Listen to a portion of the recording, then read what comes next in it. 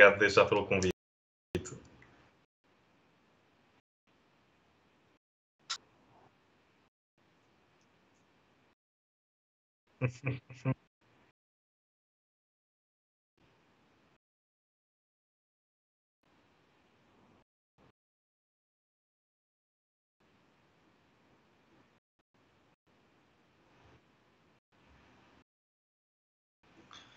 Já entrou quando, quando uh, na família, pelo menos eles um, estarem sempre a fotografar e a imprimir e fazer os álbuns e já, é, já era uma coisa natural.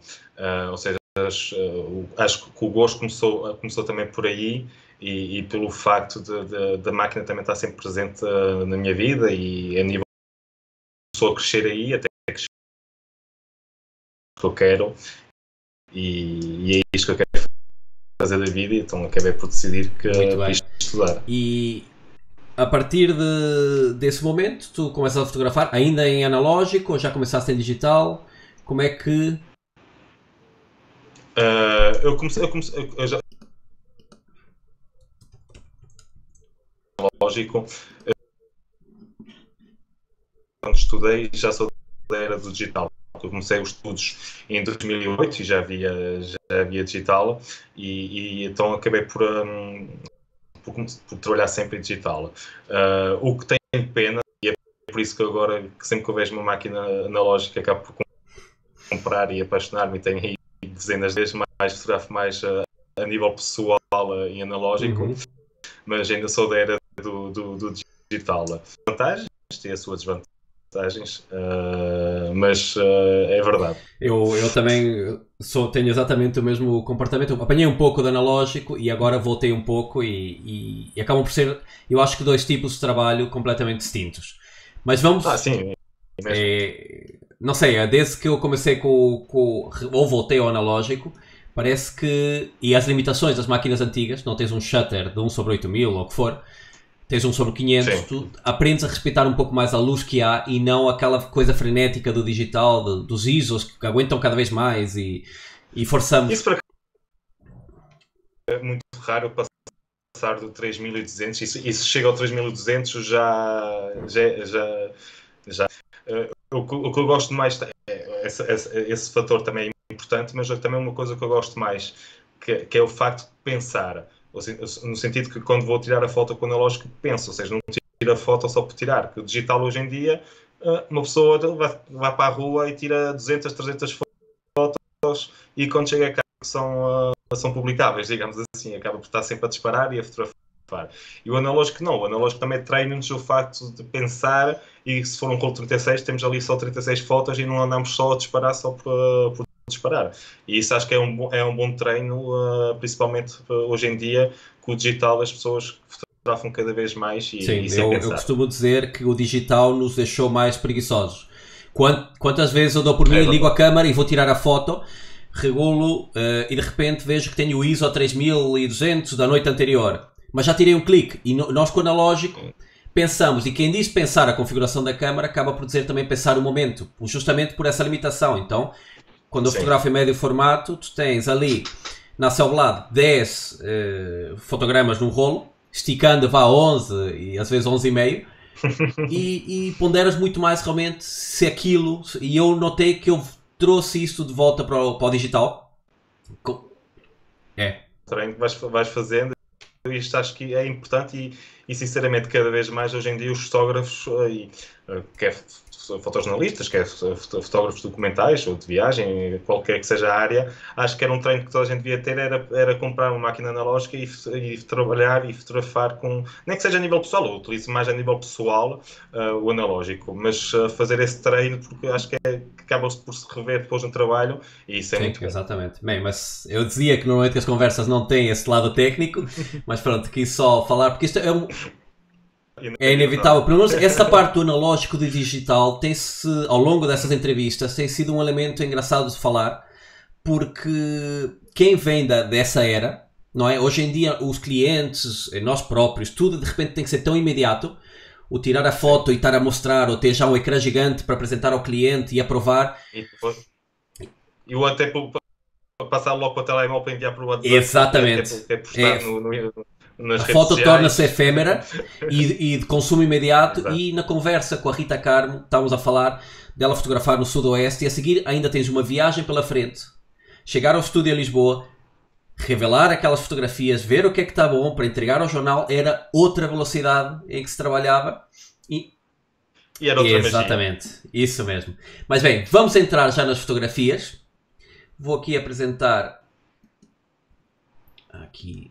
Muito bem. É, esta fotografia icónica, eu, mas eu jurei a mim próprio que esta conversa não vai ser mais uma das 1500 entrevistas que já deste. À volta do só prémio, sim, do prémio, da foto, foto, vendeste o equipamento e de repente, pá, é assim, há muito, já tinhas um corpo de trabalho. Eu lembro-me de tu, tu dizeres, e revi hoje algumas entrevistas, as pessoas enalteciam, e obviamente é para enaltecer o prémio e isso tudo, contudo, tudo com uma umidade genuína, dizia sempre: não me considerem ainda um grande fotógrafo, eu vou fazer por ser um dos melhores fotógrafos, mas ainda tenho um percurso. Como é que tu vês essa tua frase hoje, passados, eh, estamos a falar de 2012, não foi o prémio? Sim. Passado oito anos. Então, uh, oito anos, já passaram oito anos, passa rápido. Uh, não, é verdade, não, não outra vez sempre a mesma conversa, mas é verdade que quando, quando tirei aquela fotografia e quando ganhei o prémio, eu era um pouco, que era, um, que era quer de idade, quer, quer a, a nível fotográfico, a nível profissional. Uh, isso não há dúvidas disso. E, uh, e o facto de começares uma, uma carreira e passado dois anos de teres começado a carreira, ganhares o, o, dois ou três anos, ganhares um dos maiores prémios do mundo, se não o uh, isto é um peso enorme. Uh, na tua carreira e na, tu, na, na, tua vida, como é óbvio, e, e, e depois já está sempre questão de que é sorte e, e que foi sorte, e eu sou o primeiro a dizer que, que o WordPress Photo foi sorte, uh, mas tinha que provar e tinha que mostrar que realmente, se calhar, tinha, para além da sorte, também tinha, sido, tinha, tinha merecido ganhar o prémio. E que, que afinal o puto que trabalhava e que fazia tribunais e que fazia acidentes, afinal merecia fazer algo, algo melhor e, e, então lutei por isso e, e, toda a sorte, digamos, que eu depois tive no resto do caminho, no resto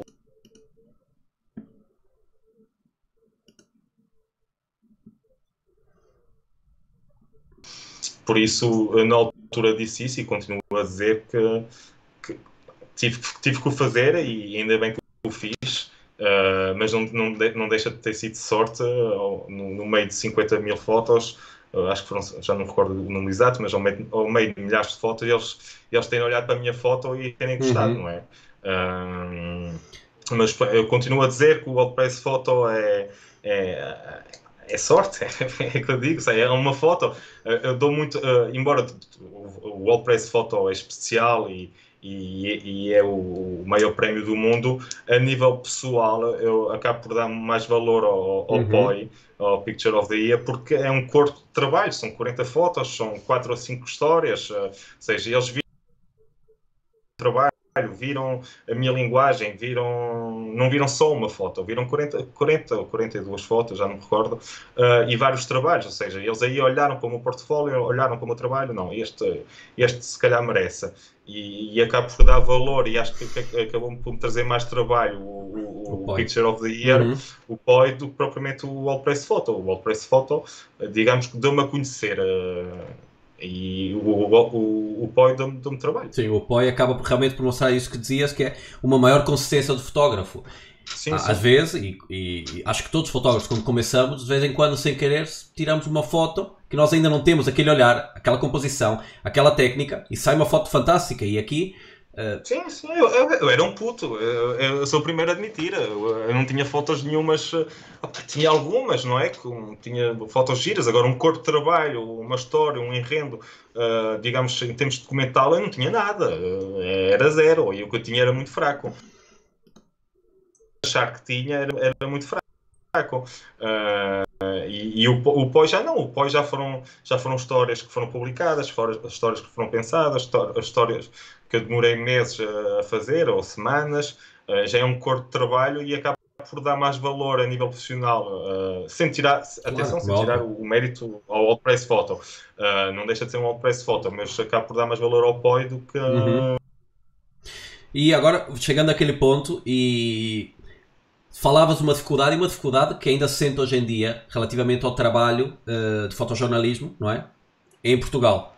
Ainda se sente uma dificuldade muito grande cá, é, aliás, recentemente saiu aquele tema sobre os valores que se pagavam numa, numa entidade por reportagem. Portanto, é... não, eu acho estranho, é, eu acho estranho e fico parvo, eh, não sei se esta é a palavra, só agora isso vira baile, não é? Que já na minha altura era uhum. assim, por isso já estamos a 10 anos atrás já era, uh, e continuar assim ainda é mais grave e, e acho estranho é que só agora é que, que veio-se falar disso e só agora é que as pessoas te, decidiram falar nisso. Que acho que era uma coisa que já devia ser Exatamente. falado há muito tempo e devia ser pública há, uhum. muito mais tempo, não é? Porque é gravíssimo, uh, é gravíssimo, é num... Não digo que é uma falta de respeito, mas acaba por ser uma falta de respeito pelo nosso trabalho e pela pessoa e, e, e acho estranho. Uh, eu, eu, não, eu, não, eu não, não posso deixei de trabalhar em Portugal, deixei de trabalhar para esses jornais uh, e deixei de. Não posso nos, nos últimos oito anos ou dez anos, uh, pessoas começaram a trabalhar, pessoas continuaram a trabalhar e não se queixaram. E o facto de também ninguém se queixar e, e, e deixar isso andar, uh, acho. É surreal. Os, os, os, valores são risórios, não é? Que, para além que, que que eu penso que se calhar estou a dizer as neiras, mas se calhar mais de 95% das pessoas que estão hoje a trabalhar num, num jornal como fotojornalista estão a recibos verdes, ou seja, aqueles valores já são baixos, já não contam a despesa e ainda tem que levar um tombo de, dos recibos verdes, quer dizer, ao fim e ao cabo as pessoas estão a dar dinheiro para trabalhar. É. Uh, supostamente o trabalho devia ser para pagar contas. Pelo menos, não é? é, é eu digo até, é, é gravíssimo porque uh, nós estamos a falar do, de uma área que é importantíssima para a sociedade, que maioritariamente, como dissesse, recibos verdes, portanto estamos a falar de um emprego precário, e quando chega um, olha, como chegou agora um Covid, é, essas pessoas puseram em causa a sua continuidade, aliás, conta-me, pusesse em causa a tua continuidade no fotojornalismo, chegou alguma, realmente a algum momento a acontecer isso? Não, assim, eu, eu acho que as pessoas, uh, o Covid não pode ser desculpa também por, por chegar a essa conclusão. Conclusão antes disso, porque o, o Covid não pode ser agora desculpa desculpa uhum. para tudo. Uh, peço desculpa, mas não, não, não eu concordo. Uh, ok, é que as, okay, que as pessoas, se calhar, bateram agora, bateu agora a tecla, e pá, isto é uma miséria, agora ainda por cima uh, não tenho direito a apoio, o apoio que eu tenho é, é, pouco, mas quer dizer, as pessoas já estavam mal. Já estavam mal antes do Covid, já recebiam muito mal antes do Covid, já descontavam Sim. antes do, do Covid. Por isso o Covid não pode ser uma não, não, desculpa. É, é verdade. contigo. Eu estava a fazer-te a pergunta relacionada ainda pré. Estou a falar em 2011, não é? Porque eu vi muitos Sim. artigos a falarem que já tinha, que tinhas vendido o equipamento, que estavas a pensar trabalhar noutra área. Estou a falar no teu caso, eu agora contigo concordo ao 200%. Aliás, quando há um problema pré-Covid, quando, quando já é precário e é insustentável os valores, o Covid não é desculpa. Tinha que se ter feito algo mais cedo. E, e há uma, há uma uma das razões, uma das razões que eu fui dispensado do, do, do, do pronto, do, do jogo foi o facto também recusar de, de ir de fazer centenas e centenas de quilómetros que quando dava por ela estava a dar Exatamente. dinheiro uh, para trabalhar. Uh, e quando começas a dizer não e, e, e amanhã outra vez dizes não uh, e depois começas a dizer não, não, não, não todos os dias, como é óbvio, é, é, para, é para dispensar alguém, acabam por dispensar o, a pessoa que diz não. Mas a verdade é que eu tinha que dizer não porque havia alturas e eu, eu estava a dar dinheiro para trabalhar. Claro. Ou seja, eu, eu, estava em Guimarães eh, e havia altura que eu tinha que ir para, para a Régua e depois, se calhar, tinha que ir para, para Braga. E quando vou ao fim ao cabo, vou, vou ver as contas e tive de dar 40 euros para trabalhar. O que não faz sentido. Eu devia receber, não devia pagar. Não é? claro. Uh, e depois, quando foi, começaram a dispensar e a dispensar muita gente, e, e acabei por ser um, um deles. Por isso, uh, eu não posso. Uh, pá, foi a crise mas a, fui idoso de, de, muita gente foi dispensado e essas coisas.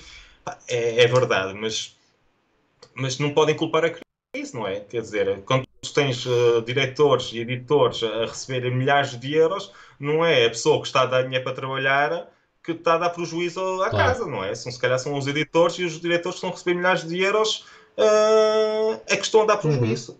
Uh, Isso é um problema. Se calhar, se calhar estou errado. Não, não, não estás errado. E é um problema que acho que é um pouco transversal a todas as áreas. Nessa área há, há serviços e, e, são mal pagos.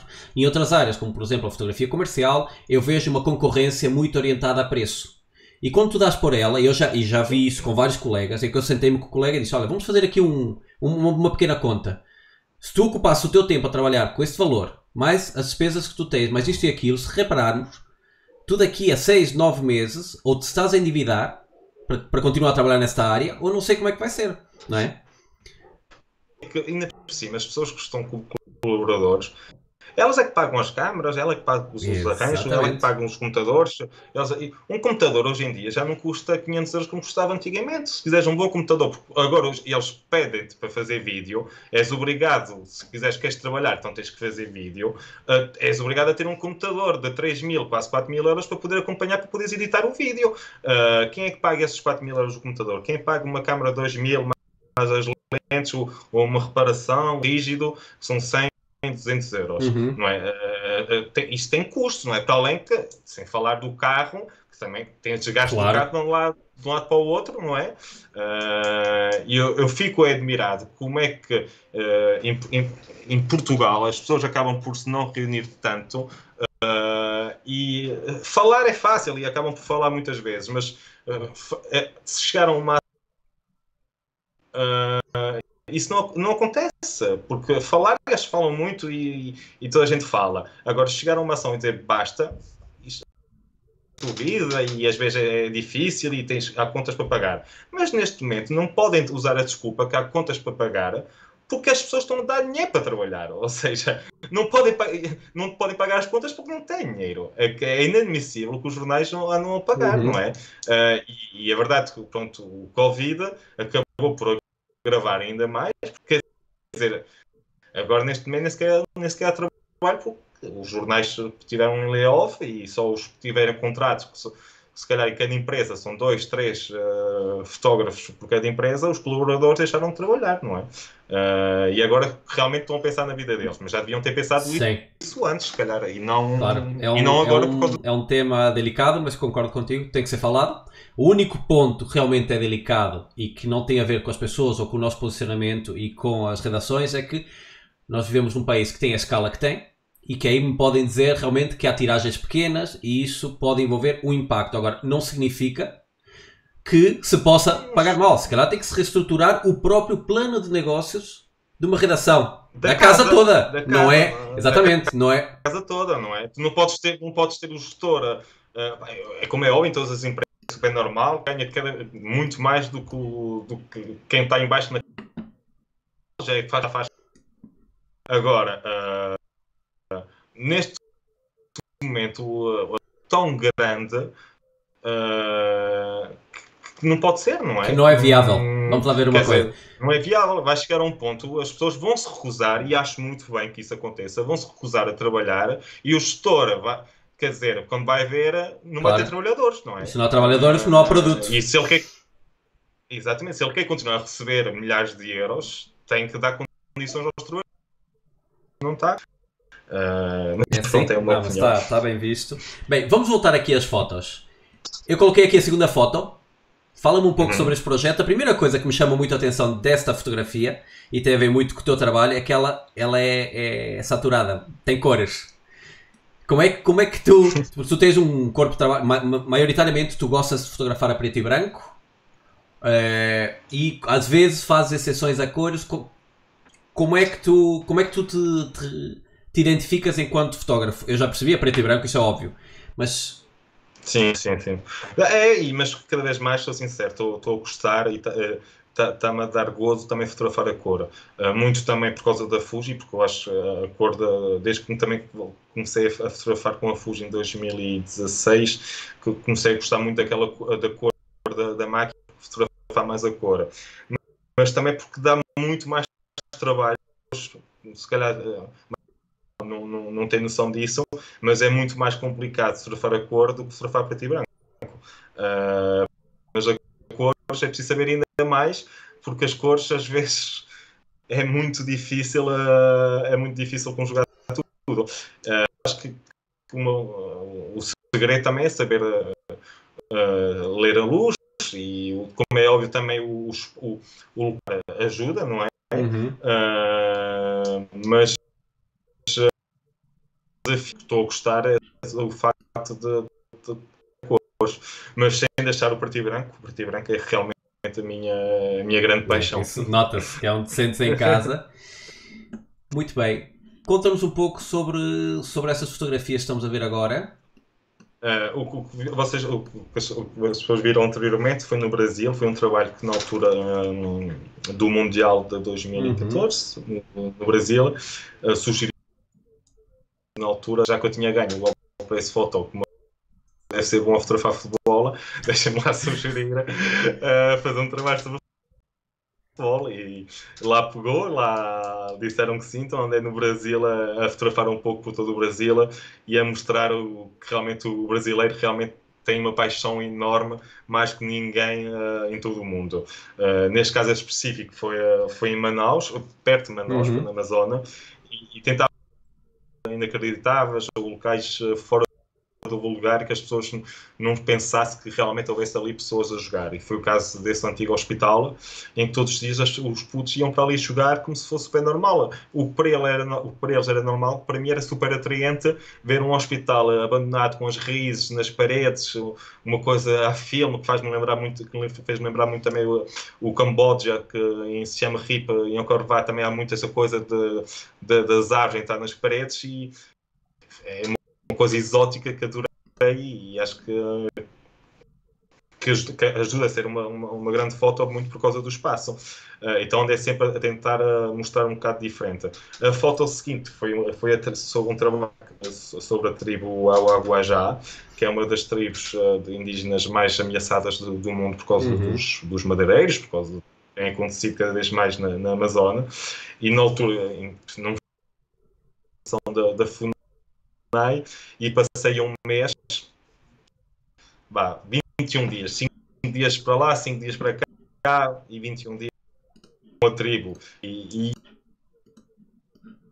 de eu estar a viver um sonho que eu sempre foi um sonho uh, uh, fotografar uh, uma tribo foi como se fosse tipo, como se uh, 500 anos atrás, porque não havia eletricidade, não havia água potável, eles, eles, caça, eles comiam, caçavam, uh, basicamente num, é, era um mundo completamente diferente do que aquilo que eu estou habituado. E, e foi muito bom, uh, todas as experiências e toda, toda, to, todas as histórias que eu lá vivi, e principalmente o facto também de, uh, de eles não falarem português, a língua deles, e basicamente tive e mesmo assim conseguimos.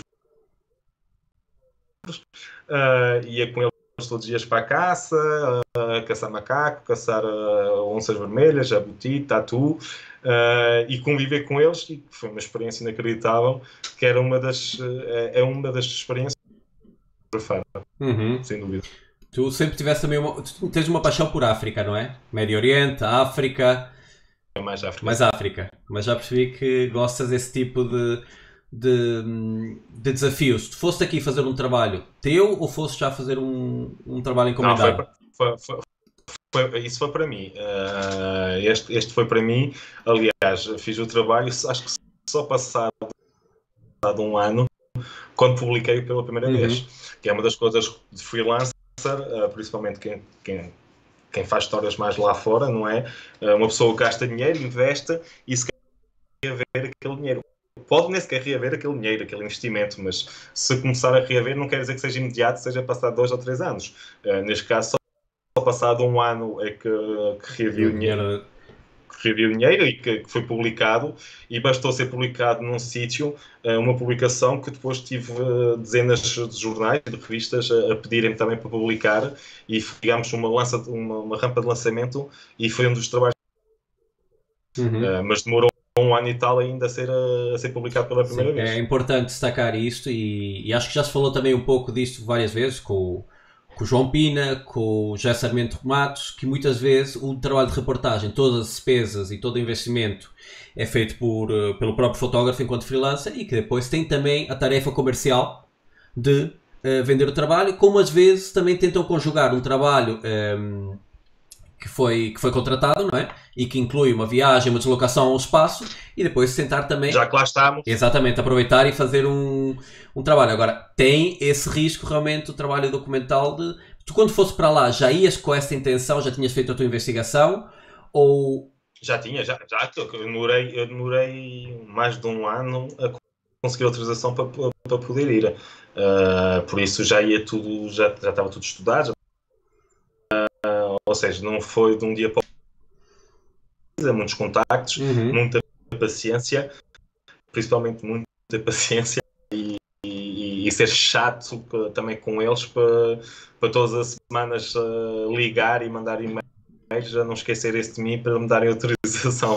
Uh, eu acho que foi mais porque já estavam farto de me ouvir e de chatear, uh, já estavam farto de receber e-mails meus e telefonemas que eles disseram: Ok, a gente dá autorização, então vai. Sim, é, aqui a persistência é fundamental. Lá está, porque o teu trabalho não acaba por ser um trabalho essencial para eles naquele momento, não é? Não é uma coisa que, se calhar, se tu chegasse lá a dizer que, que já ias com um trabalho contratado, uh, havia uma maior agilidade. o, caso, o caso dessa tribo é muito difícil. São, são raros os fotógrafos, são e raros e muito poucos os fotógrafos que, que vão fotografar esta tribo.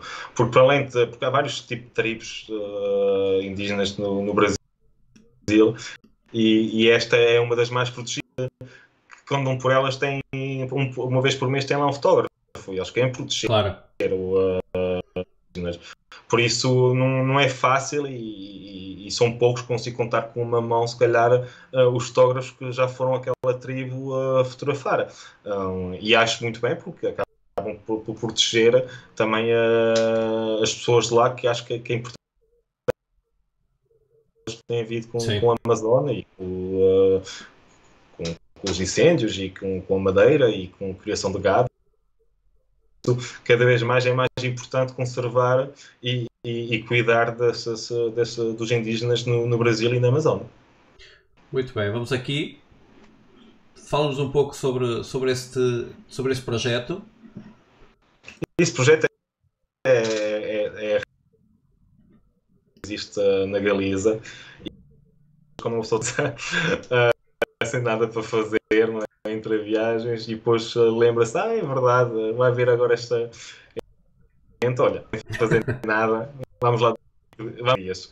E, e, eh, e, acabei por ir 5 dias para lá e acabei por, e na altura que me disseram era uma coisa raríssima uh, acontecer, é, na, na, altura da Rapa das Bestas, da, da Rapa das Bestas, um, haver chuva, também acabou por dar imagens diferentes que é habitual. do que, do que uhum. estamos habituados a ver.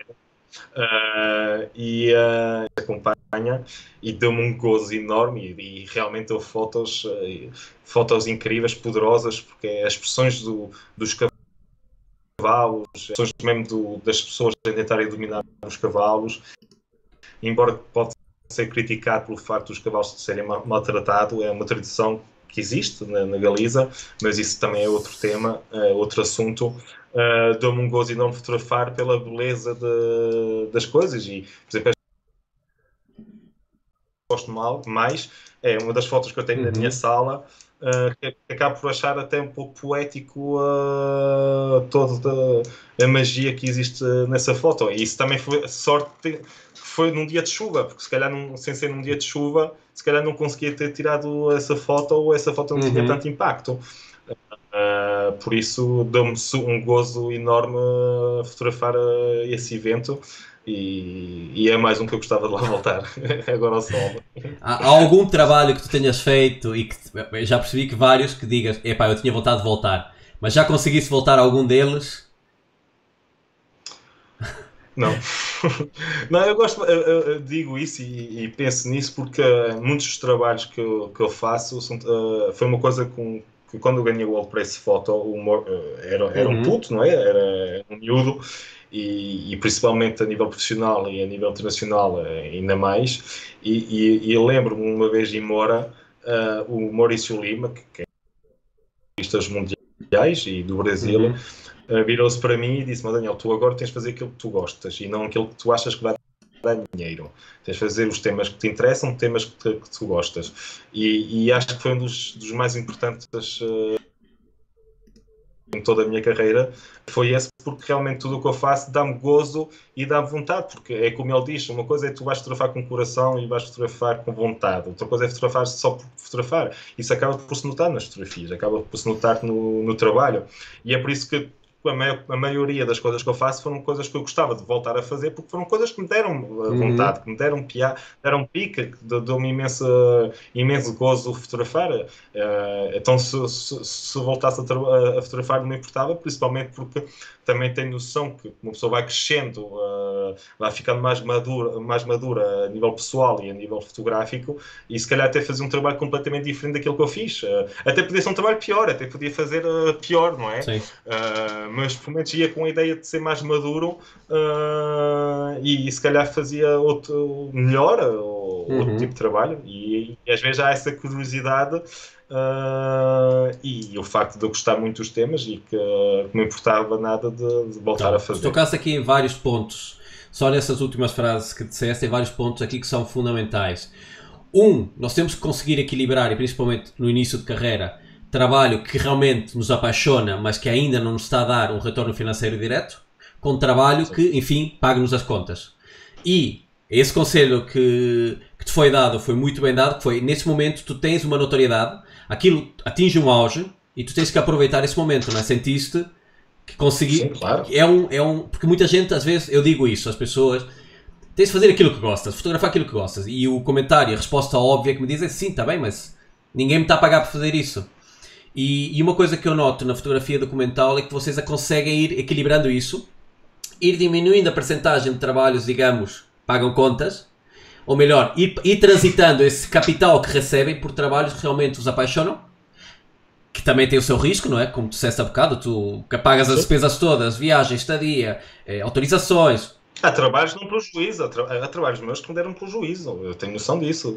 Uh, e acontece e vai acontecer. Uh, mas uh, temos, temos que ter consciência que, que, temos de fazer outros trabalhos, se calhar mais comerciais, uhum. não é? Uh, uh, para poder pagar as contas, porque uh, cada vez mais o fotojornalismo e o fotojornalismo e mesmo a fotografia, principalmente a fotografia documental, pelo facto de que, um, quando digo fotojornalismo, digo fotojornalismo, fotojornalismo uhum. diário. A fotografia documental, uma pessoa, um tema demora uma semana, um mês, dois meses, três meses a fazer.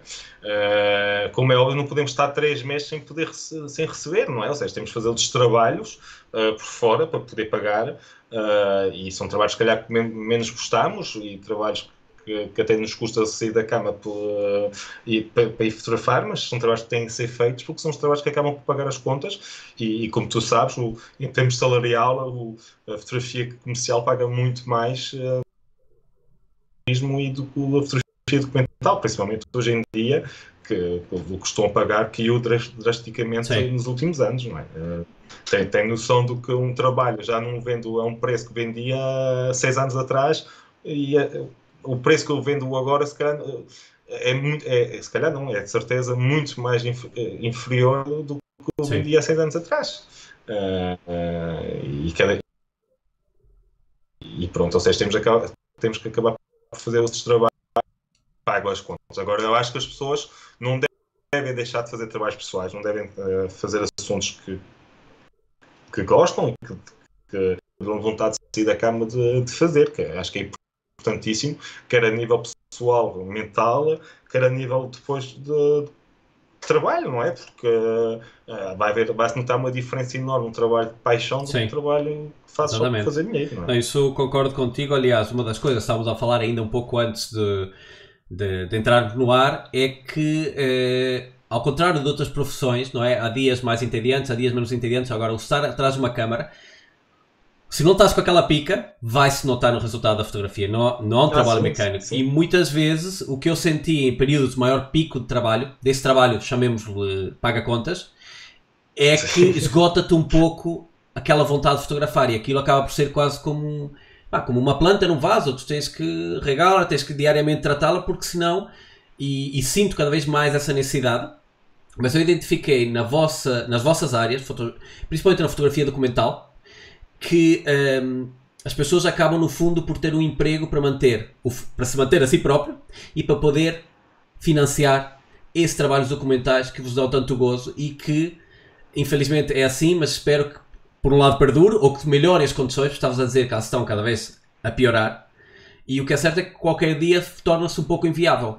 E isso pode colocar. Ah, e, e esse, esse, dia está cada vez mais perto. E eu tenho medo disso. Uh, já, já, era, já era difícil, e agora culpando o Covid, sim, mas já era difícil antes do Covid e realmente com o Covid veio, veio dificultar Porque... muito mais as coisas, não é? Uh, os trabalhos que irão a e, e, e também uh, quer fotojornalístico, quer a nível documental, uh, e, e vai haver agora uma mudança em que eu acho que vai ser, eh, na minha opinião, vai ser difícil os fotógrafos, os fotojornalistas e os fotógrafos de documental e fotografia de viagem, que é uma das coisas que também que eu faço muito, é fotografia de viagem, uh, vai, ser, vai ser muito difícil uh, levantar-nos e, e, voltar a ter o, os serviços que tínhamos e os trabalhos que nós tínhamos antes do, do Covid. Uh, vai, vai demorar alguns anos, principalmente porque, porque eu dizer que não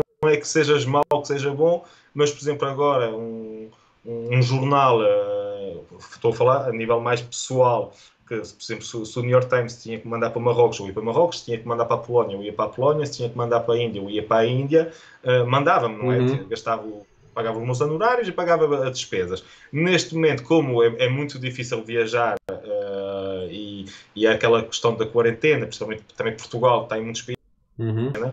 uh, já não vou mandar se calhar já não vão mandar a mim, e como já não vão mandar a mim, se calhar em Marrocos, vão contratar alguém uh, em Marrocos e vão ver que se calhar, pá, aquela pessoa serve perfeitamente para o trabalho, até é bom, e agora evitamos que no futuro estamos a gastar mais mil euros em despesas para levar o Daniela. Se calhar agora, olha, uh, ficamos com ela e vai ser uh, aquele fotógrafo a, a, fazer os, os, trabalhos em Marrocos. Ou seja, quando isto acabar, se calhar já vai ser mais difícil.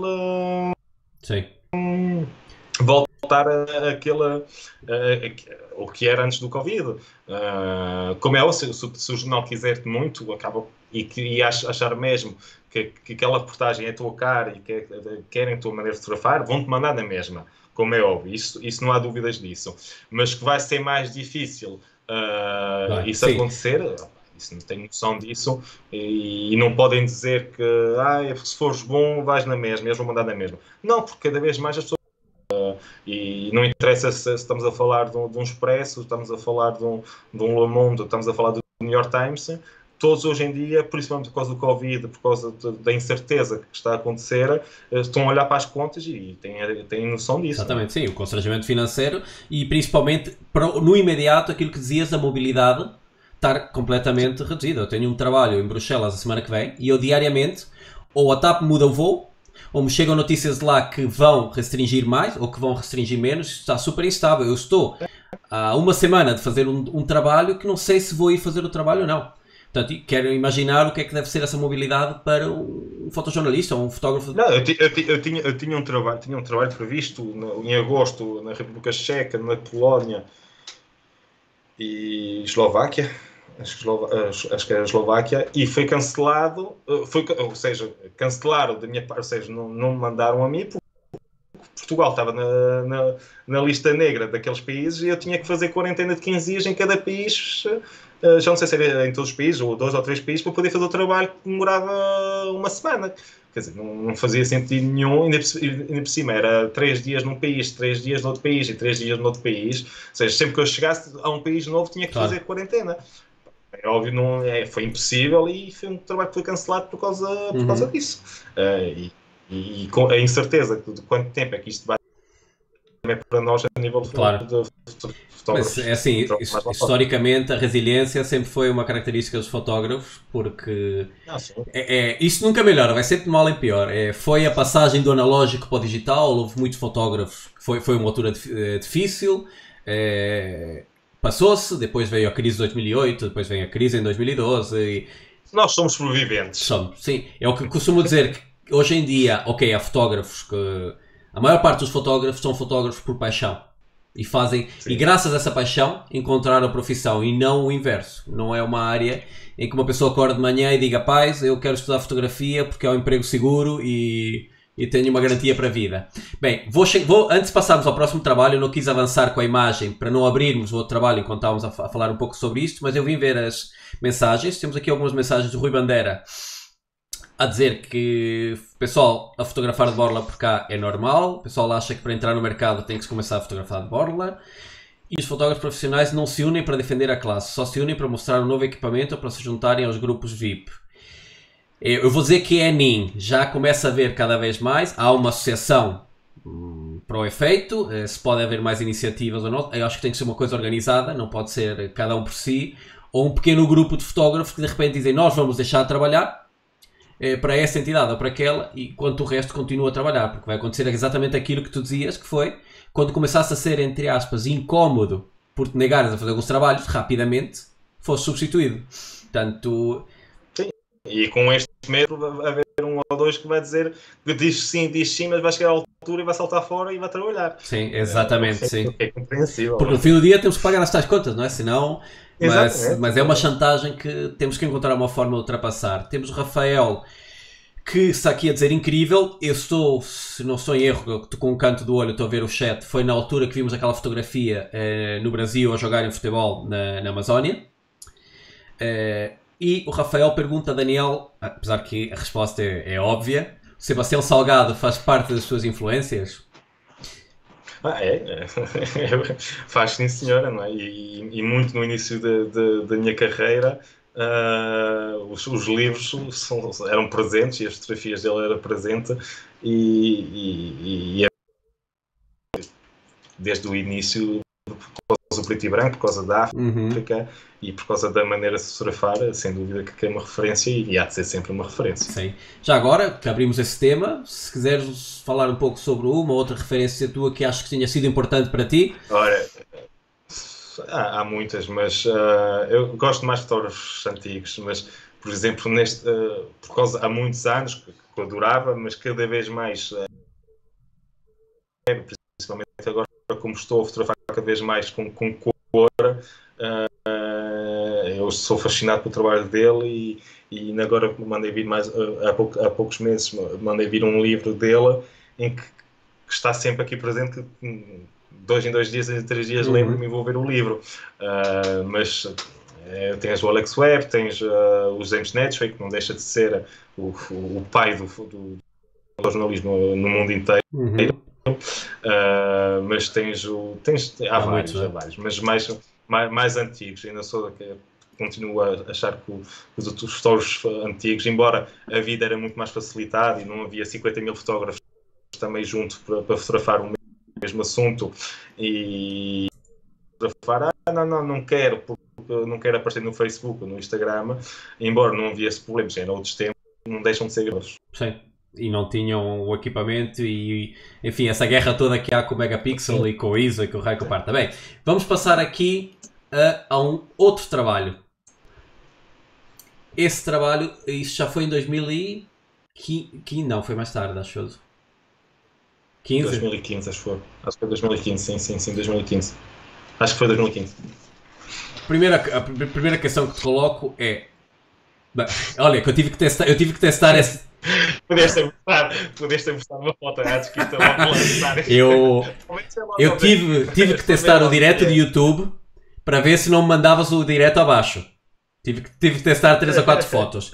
Agora, eh, tu normalmente. Fala, fala, apresenta. Foi um trabalho sobre os transexuais, os Ladyboys de Bangkok, uh, e tive durante 3 semanas acompanhando na altura uh, vários cada par dos uh,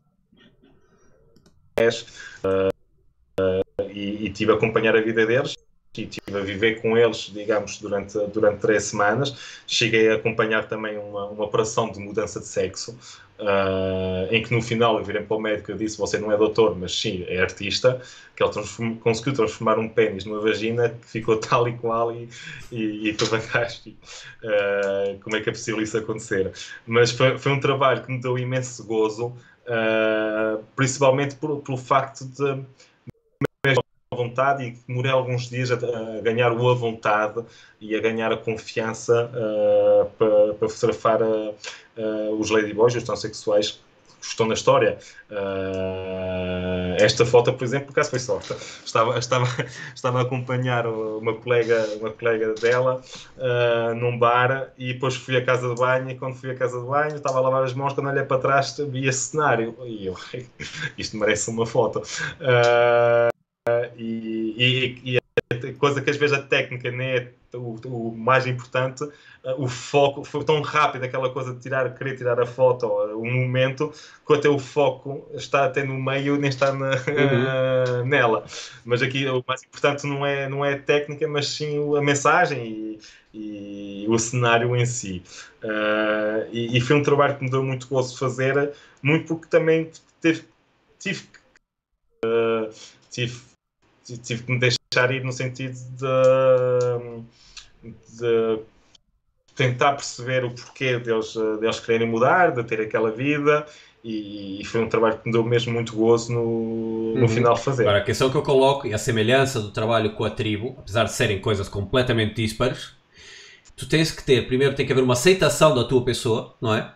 E depois tu estás a falar sobre temas eh, que de alguma forma são delicados para essas pessoas. Portanto, eh, tu sentes que tens uma facilidade em, em ser aceite e as pessoas em exporem o, o seu lado isso depende muito da maneira como tu apresenta, como tu, como tu te apresentas e, e a, tua maneira de uhum. ser. Acho que é muito importante também a tua maneira de ser.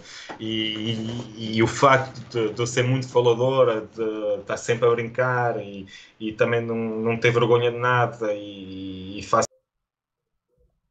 não tem problemas nenhum chegar lá e apresentar.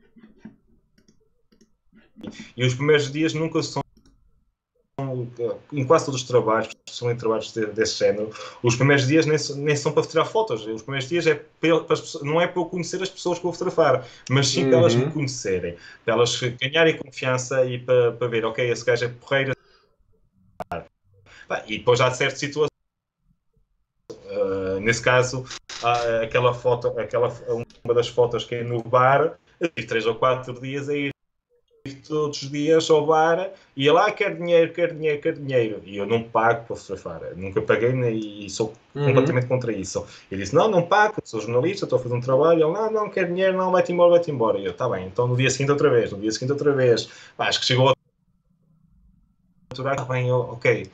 Entra, faz o que tu quiseres, fotografar e, e, o facto de ter sido tão chato e tão persistente uh, acabou por, por, por, ser bom porque uh, conseguiu uhum. e, e, e mais gente e entrar no círculo, digamos, delas e, e começar a sair com elas durante o dia e principalmente durante o dia ia com elas, ia almoçar com elas, passava o dia com elas para elas me conhecerem e, e, e, e pronto. Portanto, do, nos inícios dos trabalhos as pessoas conhecerem conhecer o fotógrafo e tu não, não o fotógrafo conhecer Sim. a pessoa. Porque tu vais ter uhum. tempo para conhecer a pessoa, o que vais fotografar e vais acompanhar e vais ouvir a história dela. Mas para tu ganhares a confiança e para se notar isso nos trabalhos, principalmente eu que fotografo muito perto, que eu fotografo com, neste caso com a Fuji, não é, não é full frame, mas é 23, Sim. mas digamos o full frame é 35mm, ou seja, eu fotografava, todas as minhas fotos são fotografadas muito perto do assunto, eu e então é muito importante a pessoa conhecer-me primeiro, uh, notar, sentir a confiança e eu conseguir estar a um metro, a dois metros, às vezes nem isso, fotografar e, e ela está completamente à vontade comigo. E acho que isso é muito importante, principalmente na primeira semana de qualquer tema que você um ponto somente que é chave, que é as pessoas têm que deixar de estranhar de te ver como um turista, entre aspas, com uma câmara e no momento que tu levantas a câmera não ficarem todos alerta. E isso implica Sim. que realmente eles não te vejam. Exatamente. Começam a, a reagir à, à, câmara e que te vejam uh, como, entre aspas, parte do mobiliário. Isto é que já é. E presente, aquela coisa, estou presente, mas não estou, não Sim. é? Ou seja, ele está ali, mas é como não se tivesse. Exatamente, és um espectador e não és um fotógrafo que de repente chegou o fotógrafo e estávamos todas horas à espera que chegasse. É, e há um ponto também que, que, que falaste há bocado, que é, por exemplo, o trabalho da Vivian Mayer. É um trabalho que eu acho brutal em termos de fotografia de rua. Para mim, ela, ela inventou o Instagram há 70 anos atrás. Mas era numa altura em que, como tu dizias, as pessoas não estranhavam. As pessoas até nem sabiam o que, é era uma câmera. E... Atenção que eu tenho muitas vezes essas conversas com fotógrafos uh, e com amigos e, e às vezes alguns não percebem. Mas uh, dos antigos fotógrafos uh, não estou não não a tirar o valor de ninguém mais facilitada, tu, nós temos chegavas a um sítio desses, uh, muitas delas, uh, as pessoas nunca tinham visto uma câmara uh, e não, não se importavam ser fotografadas. Tu, hoje em dia, chegas a um ponto, ah, estás a fotografar, porque tu vais na rua fazer a fotografia de rua e tu estás a fotografar uma pessoa, olha, você tem uma fotografia, porque saber. O paradigma é outro agora, não é? Uh, a RGPD, é? Uh, podes usar essa foto como uma prova, é, enfim. E então eles não tinham a dificuldade que nós temos hoje. Uh, e como é óbvio, eles tinham vida muito mais facilitada e isso depois vê-se nas fotografias, com, não, tem, não há dúvidas disso. Como, como eventos, por exemplo, na Rapa das Vestas. Uh, eu, quando eu fui, tinha se calhar uh, 20, 30 fotógrafos. Se eu for hoje, hoje, hoje em dia, são capazes de ser 100 fotógrafos. Uh, isso faz toda a uhum. diferença. E, eu estou a dizer 100 e não estou a exagerar. a Rapa das Vestas não me admira que tenham mais de 100 estou a exagerar. E se calhar há uh, 30 anos atrás era a única. Uh, isso faz toda a diferença, como é óbvio. Uh, atenção que eu, não, mais uma vez digo, não estou a tirar o mérito uh, aos Não, não, deu, deu para perceber bem. Sim, era... Mas, mas que era, outra, é, é, era outros tempos, Sim. era, não é? E neste momento é muito importante tu ganhas essa confiança. Porquê? Porque não és só mais um que, que vais fotografar e que vais gozar com elas e publicar no Instagram: olha, estive a fotografar um transexual. Uhum. Não és só mais um, não, estás ali uh, em trabalho, uh, é, estás a fazer um trabalho sério, uh, estás a querer mostrar a imagem, passar a imagem, passar a mensagem para delas. E, e, e, isso, como é, como é óbvio, leva o seu tempo até elas ganhar essa confiança e, e, e conseguir começar a fazer um trabalho documental e não sentirem um objeto da fotografia e automaticamente estarem a, a pousar para a tua fotografia, que não é o que se pretende aqui. Bem, eu tenho aqui Exatamente. a imagem da tal operação, o que significa Bem, é uma das poucas, das poucas. Sim, exato, sim. E eu, como eu disse, eu tive que testar, não fosse isto abaixo. Mas lá está. Para chegares a este ponto de, de não vou dizer proximidade, mas tivesse que ter aceitação da pessoa que está a ser operada, tivesse que ter aceitação dos médicos, quer dizer, é, é, é, implica um trabalho que as pessoas também às vezes não compreendem, que não é chegar ali e bater o clique. Como dizias também com, a, com os indígenas, Aquilo levou-te um ano a conseguir as autorizações para lá chegar. E é importante que as pessoas percebam que tu não és uma estrutura, tu não és uma redação, tu és uma pessoa, mas que ao mesmo tempo tem que fazer um trabalho de autorizações, um trabalho de investigação, um trabalho de vender as tuas, uh, os seus trabalhos, não é? é isto acaba por ser um, um, trabalho que te consume. Como é que tu geras um pouco o teu dia a dia ou as tuas férias? Ou... Não, e, e, e, e uma das coisas que as pessoas, não, mas isso não têm mesmo a mínima noção, alguém e a pessoa disse eu não tinha a mínima noção que isso era assim, que é o, o trabalho de casa que existe.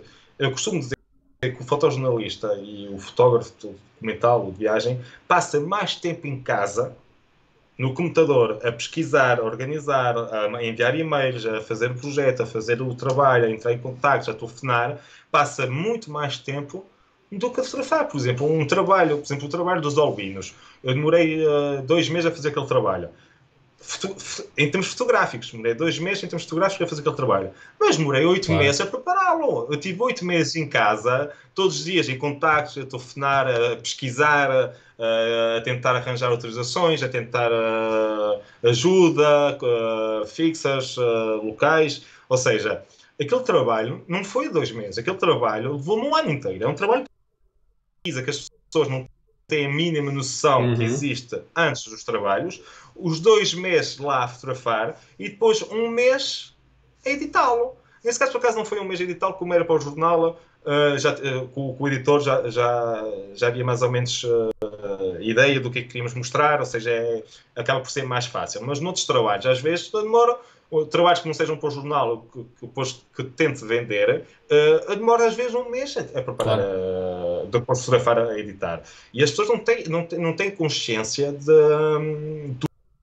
uh, cá por trás, o, tra- o, o trabalho, o trabalho de casa. Uh, a, a minha vida, sem ser a fotografar, é no computador, a pesquisar, a fazer contactos, a- Uhum. a, a desenhar uh, reportagens ou projetos, uh, uh, e-mails, telefonemas. Uh, e eu sou capaz de passar dias e dias, todos os dias, em frente ao computador e nem sequer estar a fotografar, para conseguir estar 15 dias a fotografar, por exemplo. Uh,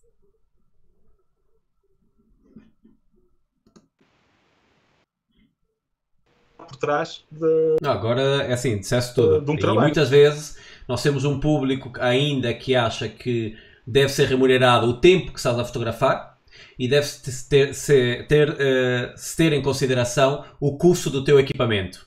E as pessoas esquecem isso tudo, que é muito mais, ultrapassa muito mais o, a questão do, do, do valor do equipamento eh, e que, enfim, tu tiveste, como disseste, 10, 11 meses a- a fazer um trabalho, tudo bem. Fizesse mais uns trabalhos pagos aqui, aqui e ali, mas se formos ver o valor financeiro que deveria ter justo desse trabalho, as, as as horas, as horas de trabalho, e quando digo trabalho não fotográfico, Sim. que é tra- computador, ou ao telefone, ou a mandar e-mails, ou a pesquisar, ou em contactos. As- eh, ninguém sim. essas horas. essas ima a imagem que nós temos no ecrã agora tem um, tem um trabalho por trás. Tem, até chegar a esta praia e fazer as fotografias, e tem um trabalho posterior também, não é? Porque muitos trabalhos depois ainda tens que ir vender esse trabalho para conseguir eh, financiar este, estes trabalhos. Esta imagem hum, também é no âmbito do, do Mundial, não é? Do Mundial, exatamente. Uh, aí para que a partir das 5, acho que é das 5 da tarde, uh, tem um nome específico que não está, que me está a faltar agora. Uh, como é que ele chama? Uh, Está-me a faltar a Que é palavra. que é? Mas é autorização para poder jogar a bola na praia? Exatamente. Uhum. uh, a partir das 5 da tarde. uh, e depois, quando tu chegas às 5 da tarde, eh, tu, tu olhas para o horizonte e tu só vês Uhum. bolas no ar, que é uma coisa inacreditável. Quer dizer, tu consegues ver, tipo, uh, uh, eu acho que é, é às 5 da tarde. Era à espera. Tens. Aliás, como, como, se vê, como se vê bem nessa imagem, pelo menos consegue-se ver 13. Sim, aquilo. E se aumentares ainda mais. Ah, o futebol tem, tem uma coisa. Eu morei muitos anos no Brasil e realmente é uma coisa que não se explica. É, Não, não- só, só, vendo estando. Aliás, só- eu só lembro das minhas férias, muitos anos no Rio. Havia sempre um jogo de bola e nós não tínhamos uma hora. Era sempre a seguir a chuvinha. Havia uma chuva. Diz isso. Eu não me... tu, tu sabes o nome, eu já não me recordo, está-me a falhar a palavra. Ah, do jogo, não é? Ah, depois, a partir das 5 Não- não sei. ah, Tem um nome. uma expressão, tem um, tem um nome, não me recordo, mas ah, Não, não, não sei disso. estou curioso e vou, vou pesquisar isso. Esta imagem é muito engraçada porque há uma semana atrás eu estava hum, a entrevistar o João Pina e ele tem uma foto a retratar um cenário e uma coisa completamente diferente, mas eu diria que se ele fotografou 5 ou 6 metros para o lado e um pouquinho para frente é muito. eu acho que eu sei qual é. A foto dele acho tem que um senhor, é tem um cavalo, tem uma pessoa a andar de cavalo. Não temos o gradeamento aqui. O que eu achei curioso disso, Essa é a favela São Carlos, eu acho que os. ah, buscar o livro, mas agora ele está longe. é? Epá, eu.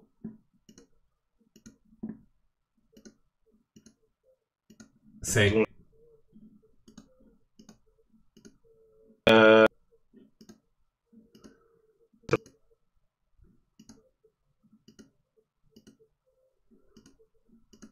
Agora, uma pergunta também para. Há sempre aquela questão das favelas. da integridade, da segurança, de como é que foi a tua experiência? Foi bom. Dizer que para mim é um dos Exatamente. de janeiro. Uh, nesse caso, uh, São Carlos foi o e então fui com o Filipe. Foi daqueles casos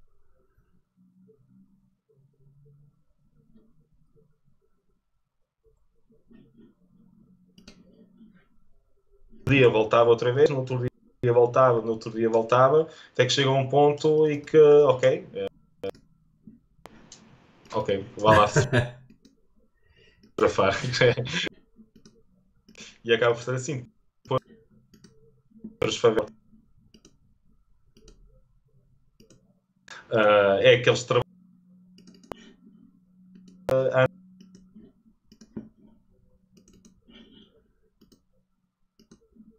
Do, do Filipe, do Maurício, do, do Daniel, do, do Daniela, que, o Daniel foi uma das pessoas mais queridas que uh, conheci no Brasil e, e sempre que eu lá vou e sempre que eu tenho um trabalho, ele, o Daniel Marrenco, uh, para além de me dar casa, às vezes uh, também me ajuda em muitos contactos uh, e, e, pronto, e, essa, e é aquele trabalho de casa que tens de fazer antes para conseguires entrar, ou seja, bonzinho que eu não tinha, não tinha e fui chato e lá me dei outra uhum. Há outras que já sabia que ia, porque eu já tinha ajuda do contacto do, do já tinha ajuda, sabia que o, que o Filipe tinha-me arranjado contacto, o Maurício, por exemplo, o, o TAC. O, sim, o. Não é chofer, mas sim, eu percebi, sim. O, o, o, condutor, o, o, o, Maurício, o Maurício arranjou-me o condutor, arranjou-me deu-me o contacto do, do condutor dele e, e, também que foi uma grande ajuda, porque para além de já estar, já estar habituado a, a trabalhar com fotojornalistas e, e, e nessas áreas, uh, também acabava por ter contactos e também ajudou-me muito nesse uhum. aspecto. Tinhas razão, a favela não é a mesma. Eu vi e para mim o ângulo era igual, mas fui confirmar, não é. mas não é. Eu tenho, tenho... Mas em toda a favela tem um campo de futebol. É... Sim, tem também. E uma das melhores fotos que, que para mim que, que está na memória e, e tive mesmo muita pena não ir fotografar. E na altura da Ana foi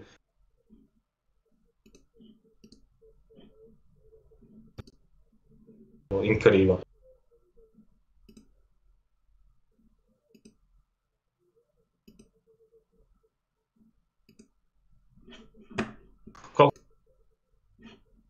Tem, não, isso, isso é, é regra no Brasil. Isso, isso é um trabalho sobre. Uh...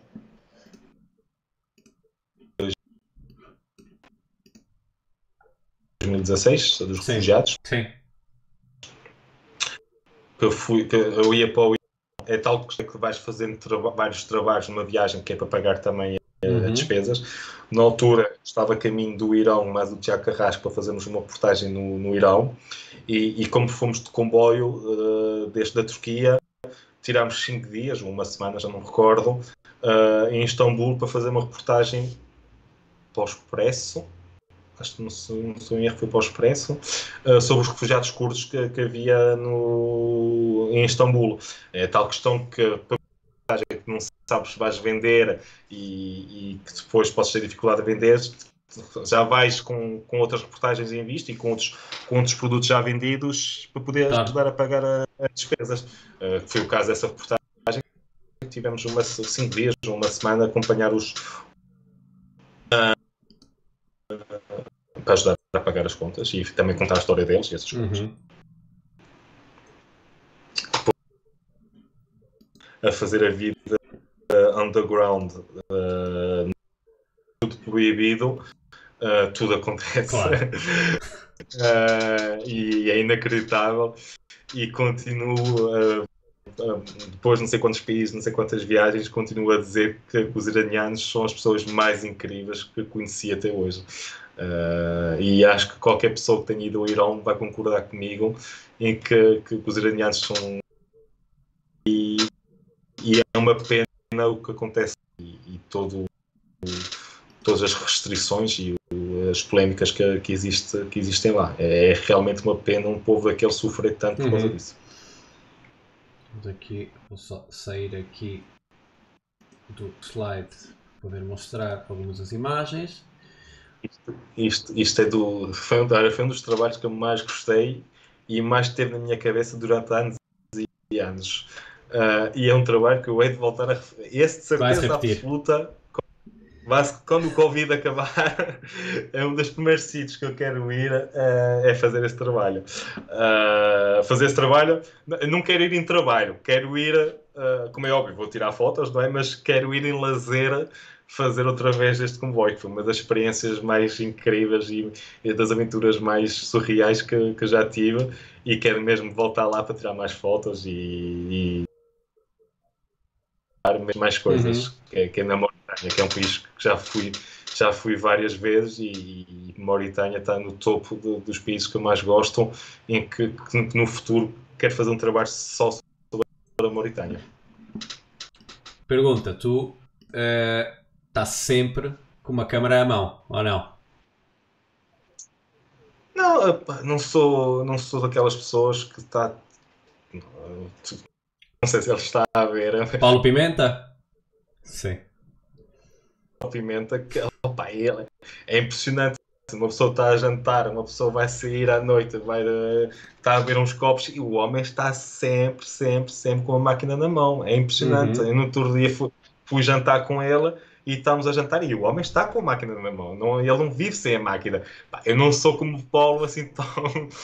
tão pá, como é eu vou, vou, vou jantar com, com amigos ou com a família. Se preciso, não levo, eu posso levar a câmera, que levo sempre a mochila com, com a câmera, mas posso nem sequer tirar a câmera. Uh, ou às vezes vou vou, vou jantar à casa da, da minha irmã, por exemplo, uhum. e não levo a câmara. Ou vou jantar à casa da minha avó não levo a câmara. Uh, ao contrário do Paulo, sim, sim. Que, se, se, o Paulo for jantar a, a, qualquer lado, ele leva, leva a câmara. Não sou assim deste género. Mas ando sempre com a câmera, mas não quer dizer sim. que eu tire sempre fotos. Nisso, Posso... eu, eu concordo. Ah, eu ando, normalmente, cada vez mais, ando sempre com uma Fuji. A portabilidade realmente facilita a vida mas já me arrependi muitas vezes de não ter uma câmera à mão. E às vezes vais assim, fazer um, um, um, um, percurso que é uma rotina e tu pensas, epá, não. É banal, vou fazer isto. E de repente acontece uma coisa, ou um pôr do sol, ou, ou não sei, ou um evento qualquer. Ah, isso, isso, isso, isso, por causa da Fuji, por exemplo, eu tenho a panqueca. A 27. Uh, e a 27. Gostei a, a X Pro 2 uh, utilizo o X Pro 2 e, e, a panqueca, por exemplo, eu vou andar, eu gosto muito de caminhar, por exemplo, nos passadiços. Uh, vou andar, não digo todos os dias, mas muitas vezes vou andar, vou, vou, fazer a minha caminhada e levo sempre a minha panquecazinha, que é como eu chamo, uh, ponho o tiracolo e vou caminhar, por exemplo, 10 km. posso nem sequer tirar uma fotografia, mas às vezes gosto do cenário e é aquela coisa que eu não, não, não gosto e não tiro fotos com o telemóvel. Só tiro, com o telemóvel só tiro mesmo pormenores, uma, uma nota, uma coisa que eu quero mandar, por exemplo, para o WhatsApp, mas é só umas notas. Uh, nesse, nesse sentido, ando sempre com a câmera e agora, se vou jantar, por exemplo, já, se for preciso, já não tiro nenhuma foto. Claro. Não, isso. Mas a Fuji nesse aspecto é muito bom por causa da portabilidade das máquinas, uh, que podes, portanto, tens o caso da XCV. XCV, em que aquilo cabe no bolso e a qualidade é incrível, é. não é? Uh, uh, por isso, uh, e adoro isso na Fuji por causa é, disso. Isso, parecendo que não, é um elemento que as, as, pessoas não dão tanta importância como os megapixels e os ISOs, isto e aquilo, mas para mim foi um elemento diferenciador de levares uma, uma full frame DSLR com grip, que era com o que eu trabalhava, e quando tu pensavas em não, não vou a trabalho a algum lugar, a última coisa que me passava pela cabeça era levar uma daquelas câmaras. E. Sim, eu tenho noção que eu, tiro, que eu tiro, passei para a Fuji do que tirava quando estava na Canon. Pá, não há dúvida, tiro muito mais fotos, porque a Canon, eu nunca andava com a Canon. tinha a 5D, a 5D Mark III, 5D Mark III e, e tinha a 24 a 24, 24 milímetros, que aquilo era Sim. um calhamaço enorme. Quer dizer, eu ia caminhar como eu não ia levar. Eu só, só fotografava com aquela máquina quando fosse fazer um trabalho. Diariamente eu não tirava fotos. E a verdade com a Fuji, hoje, porque é uma coisa que vai no bolso, vai no É isso, é a facilidade de estar à mão. Uh, exatamente, isso, isso, isso, é muito bom, como é óbvio. Bem, vamos passar este momento de publicidade. O João Coelho e o Nelson que nos agradeçam. Agradecem. e muito bem. Paga-se o café. Exatamente.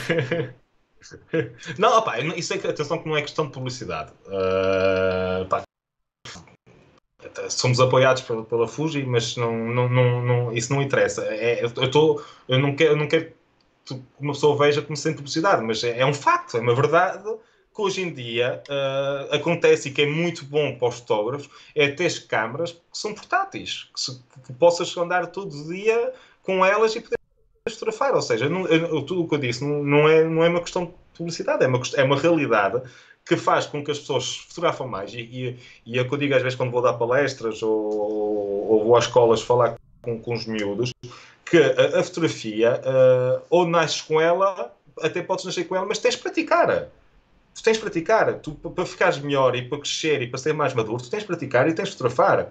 E a verdade é que antigamente tu praticavas pouco porque só tiravas fotografias quando ias fazer um trabalho. Hoje em dia, qualquer coisa, até com a família ou até umas férias, Sim. estás a praticar, tu estás a fotografar por causa da oportunidade uhum. das coisas. Ou seja, é um facto, é uma realidade. Uh, por isso, não, não, mas eu concordo contigo, aliás. não, é, não é segredo para ninguém que, que tu trabalhas com a Fuji, que eu trabalho com a Fuji que, que eu tive o cuidado e sempre quis que o Conversas fosse um, um espaço agnóstico de marcas, nem sequer tem como sponsor a Fuji, nem é um tema que se puxa aqui. Aliás, sempre que eu vos convido para virem participar desse programa, a primeira coisa que nós falamos é não vamos falar de questões técnicas. Agora, que o elemento eh, tamanho e peso para mim mudou drasticamente a minha forma de, de, de lidar com a fotografia, mudou.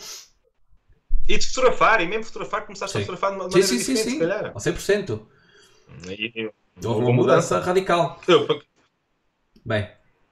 Olha, essa também é da Mauritânia. Atenção, voltamos a uma foto de com cor. É, é importante salientar isso. Da cor. É verdade, é verdade. Isso também foi porque, mas é, é, por acaso eu adoro fotografar na Mauritânia, que eu já, já referi, que é, que é um dos países de seleção. Agora, tenho muitas fotos a partir de cores. Uhum. Uh, por isso, que é que não sei se tens aí da miúda de laranja. Tenho, tenho, tenho. Está um pouquinho mais à frente. Uh, foi, eu segui aqui a ordem numérica uh, com que as recebi, mas já vamos vê-las. Vamos passar agora por aquele trabalho que me tinhas falado dos albinos. Sim, isso foi. E foi um dos trabalhos que me fez também pensar um pouco no teu trabalho com, com a cores e preto e branco. Tudo bem que aquilo que disseste é verdade. A saturação, a, a cor na fotografia, o elemento cromático, torna a foto mais complexa, tanto de fotografar como de, de assimilar a fotografia. E, e, este é um daqueles trabalhos que eu não consigo imaginar esse trabalho a cores. Eu acho que. Nem, nem, foi, nem foi fotografado a pensar a é cores. Que... Nem foi pensado a fotografar a cores. Que é uma coisa, é uma coisa que eu faço, que é pensar antes de fotografar e, e tentar uh, pá, imaginar e pensa. E, e, e, foi um trabalho que sempre foi pensado a preto e branco e que foi fotografado a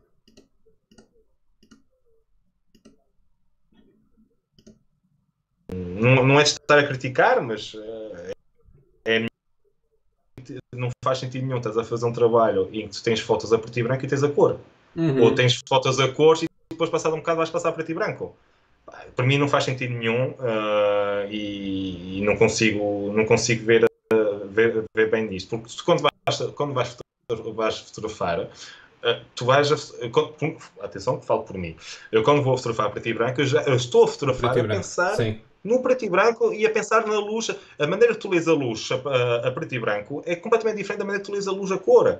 Ou seja, eu não consigo perceber aqueles, aquelas pessoas que têm um trabalho a cores e depois vão, num sítio publicam cor, noutros vão publicar a preto e branco, ou têm trabalhos a cores a preto e branco, porque a maneira de fotografar é diferente. Atenção. É a tua visão, claro. É a minha maneira... É a minha visão que quando, quando vais a fotografar a, a, a preto e branco, estou Sim. a fotografia a preto e branco.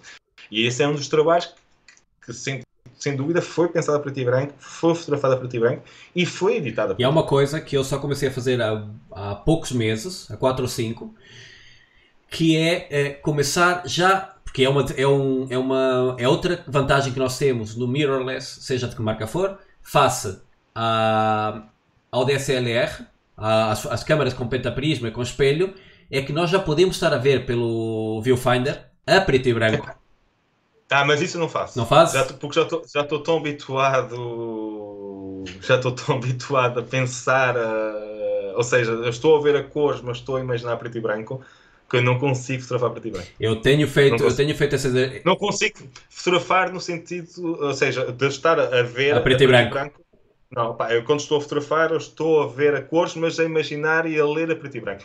É, é por exemplo, eu tenho, eu tenho não sei a monocromo que Sim. eu tenho. Há muitos trabalhos que eu fazia e ainda hoje de vez em quando faço uh, com a Leica monocromo.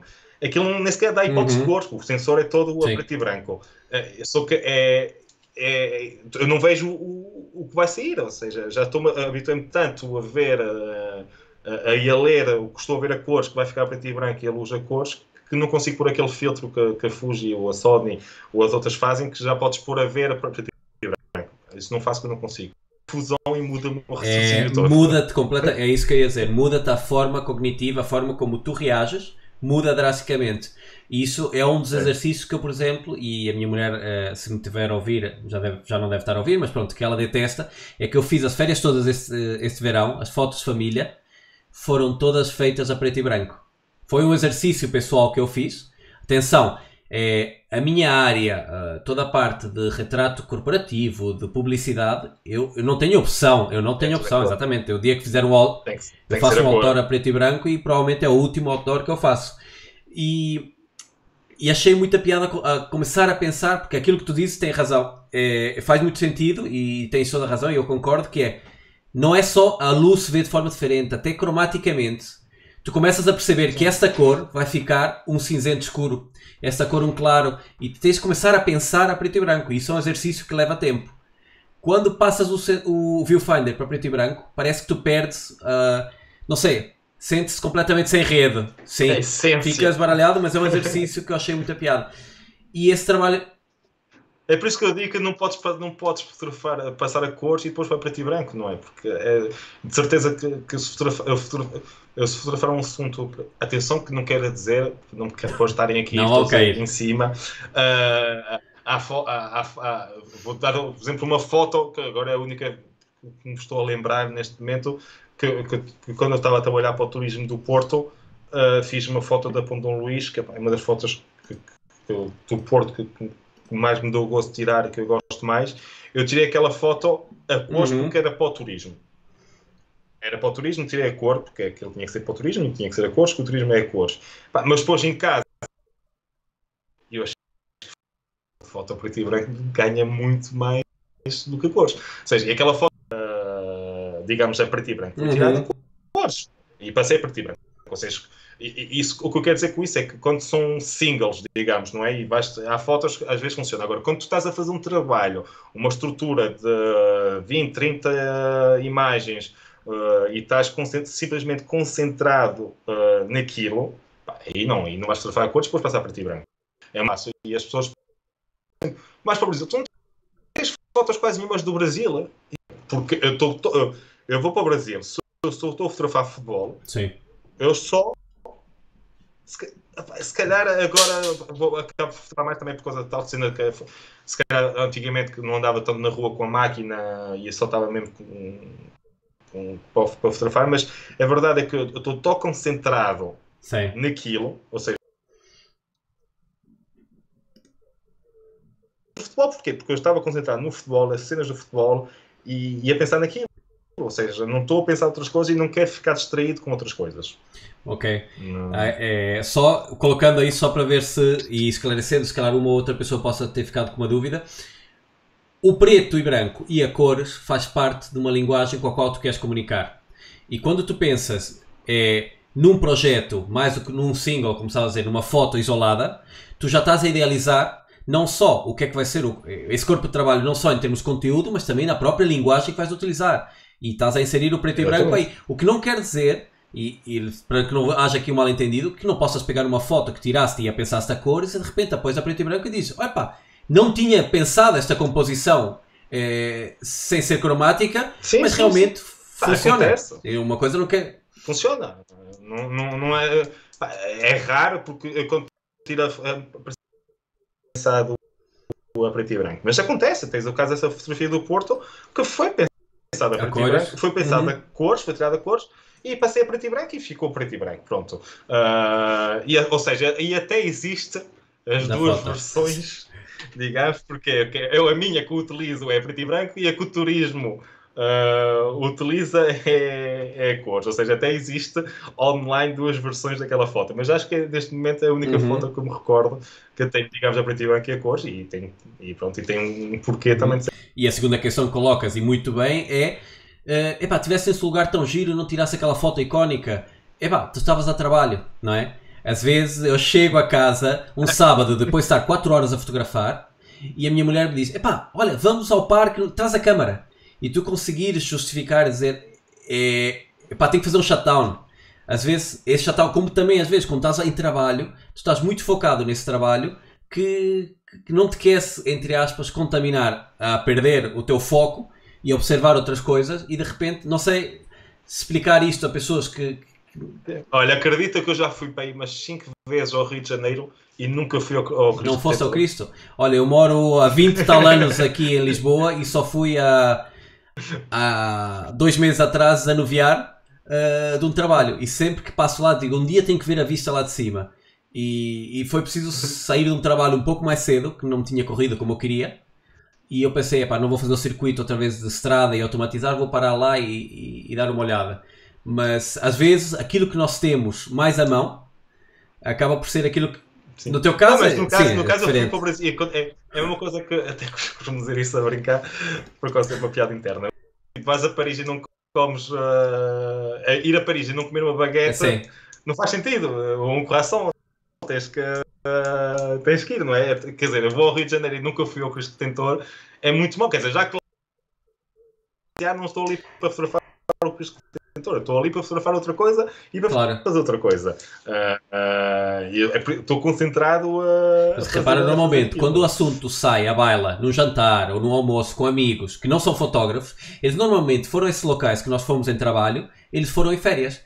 Então, eles claramente foram fazer esse roteiro. Foram subir o Corcovado, Exatamente. foram eh, experimentar aquelas coisas típicas, ir a Copacabana, isso aqui. E tu podes ter ido cinco vezes a ao Brasil e nunca ter pisado areia de Copacabana. E. Por acaso, trabalho. Sim. Temos aqui outras imagens. E... África, não é? Mauritânia também?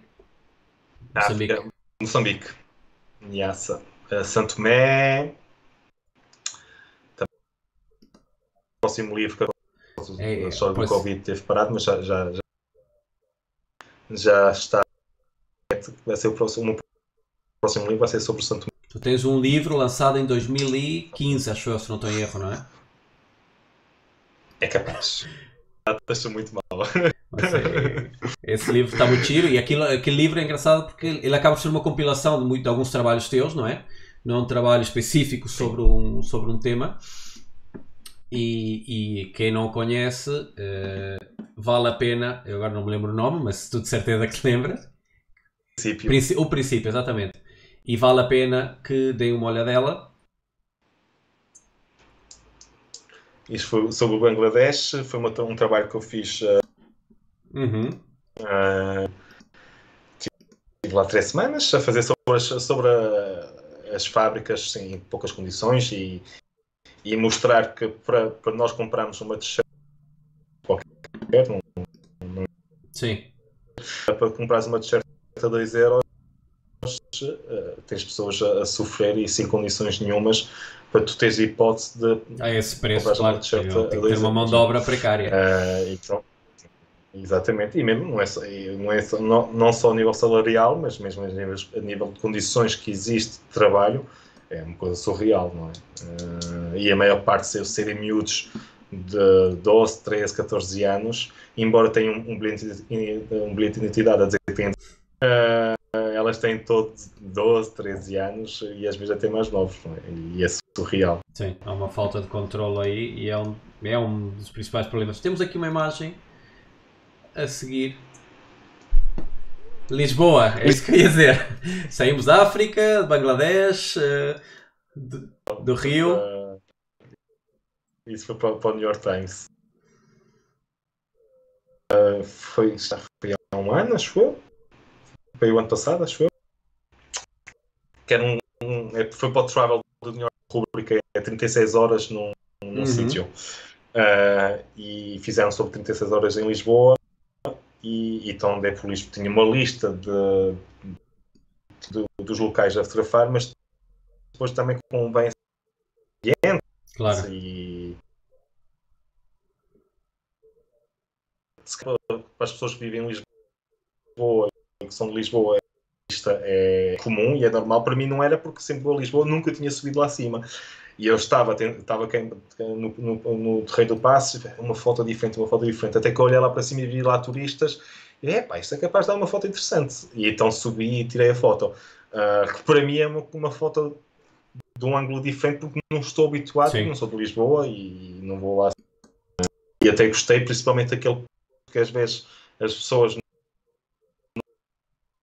como acho que os stories acabam por ligar muito, que às vezes há um ponto na fotografia que faz toda a fotografia, que neste caso é o puto ali a uhum. correr. ali o puto a correr na já não era tão bonito. Sim. na minha opinião. Eu, uma coisa que eu destaco muito também nessa fotografia são, parece que há uma massa de pessoas uh, vestidas de escuro e de repente tens duas ou três pessoas vestidas de claro. Chamam de stone. Esta imagem é Essa icónica é... do teu trabalho, foi aquela que falamos há bocado.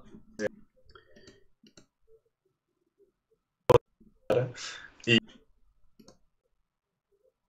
eu gosto muito. É, é, é das, é, tudo, é das fotografias que eu, em casa podes ver, eu tenho fotografias uh -huh. em todo lado, mas isso são, isso são trabalhos que eu imprimo 10, 15 e depois ponho na parede para me ajudar depois a escolher, a fazer fotografias no computador, eu tenho que imprimir tudo, pôr na parede e depois uhum. vou editando.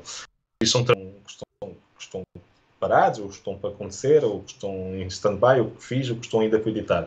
Mas depois tenho quadros, não é? Uh, e, uh, mas só tenho quadros, fotos minhas que eu realmente gosto.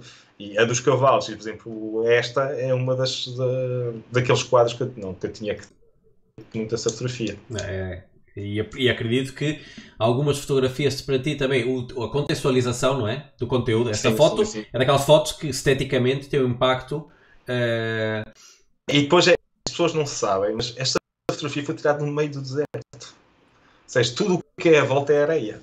Uh, e, para, e as pessoas acabam, e eu dou muito mais, ou seja, gosto muito mais dessa fotografia também por saber isso que eu sabendo, ou seja, eu estou a tirar esta fotografia e estou a imaginar o que está à volta e tudo o que está à volta são dunas e areia. E ali no meio tinha aquela, tinhas aquela parede, tinhas Zula mais à frente, um sorriso na cara, toda envergonhada para estar ali atrás. E a tua ver deserto, deserto, de, é, deserto. É. Que é uma Sim, coisa é essa contextualização que muitas vezes só o fotógrafo tem e que tem um impacto brutal. Esta é daquelas fotos que merece ser vista também numa ampliação, porque visto assim em pequenino no, no YouTube, vocês vão praticamente ver uma, uma rapariga do, com mas um, um sorriso, sim, é, sorriso, é, é, subtil, mas está lá tudo. Está lá, exatamente. E estamos a chegar ao fim da, da nossa conversa. Aqui temos mais algumas fotos uh, a cores. Sim, uh, e é sobre comboios, porque é um, é um do tema que eu, que eu, que eu, que eu adoro é uhum. comboios. Uhum. E quero fazer o máximo de comboios possíveis no mundo inteiro e vários temas de comboio. E quando descobri esse, quando descobri esse comboio de, na Índia, tenho, tenho que ir. Uh, que é um trabalho que foi para o jornal, mas que ainda não foi publicado. Porque foi passando por e depois por causa do Covid, muita coisa ficou stand-by.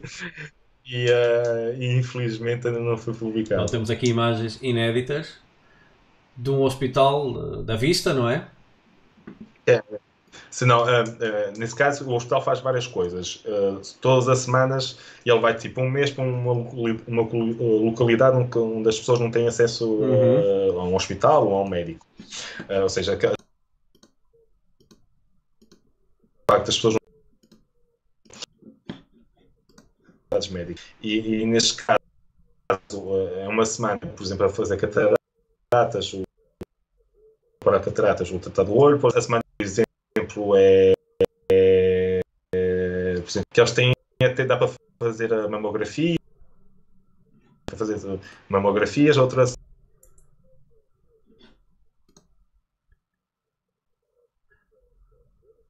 Sim. Portanto, eles, eles adaptam o comboio e especializam a uma, a uma especialidade, Exa não é? Exatamente, ou seja, todas as semanas vai mudando de especialidade. E eu só tive na semana das cataratas e dos olhos, ou seja, só fotografei a parte dos olhos, mas eles fazem muito Sim, mais coisas. Isso é, é, um claro sintoma do que é que é uh, o, a população que nós temos a nível mundial hoje em dia e como é que tu geres países com grandes populações, não é? Sim. Milhões e, e, e ainda tem, acho que é 1.3 bilhões. bilhões de pessoas. é, é, uma escala, é uma escala que, que, já chegamos a isso, não é? Por um lado, podes olhar para isso e pensar, epá, que frio, não é? Se nós já nos queixamos aqui do distanciamento médico-paciente, eh, epá, é... Portugal, Portugal, Portugal pode ter os seus defeitos e podemos criticar, verdade, mas Portugal, que, que eu digo, continua a ter um dos melhores sistemas de saúde é preciso ir lá fora para perceber isso, isso não é? É? Exatamente. Uma pessoa pode queixar e até eu sou o primeiro, se calhar, a queixar-me, mas é verdade que é um dos melhores sistemas de saúde do, do mundo. Isso não há dúvida nenhuma. Outras, outras fotos. E, e, não tem que necessariamente ser comparado com países do terceiro mundo, atenção.